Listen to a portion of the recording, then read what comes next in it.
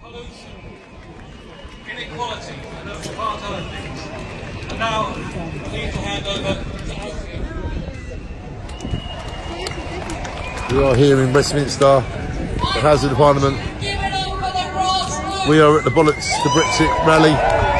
We are here to make a difference. The people have spoken, the people have had enough. Give the people what they voted for. Bollocks to Brexit. All of Europe. And that's because of volunteers giving up their time to serve on street schools, to deliver leaflets, to write to their MPs, to write to newspapers, to wave, to wear something that tells people there is hope. We will stop Brexit.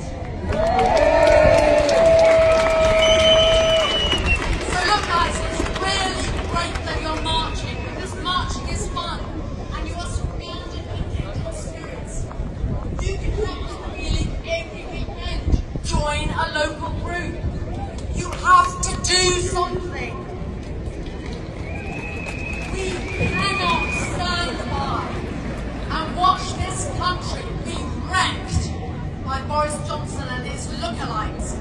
Do you want to live in a country run by the ERG? Do you want to run, live in a country run by Farage?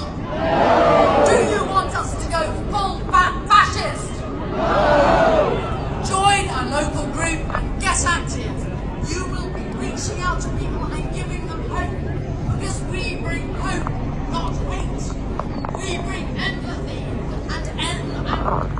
well, it's the Brexit. The people have spoken. And so many people here have had enough. I think you had enough. I've had enough. Surely you've had enough.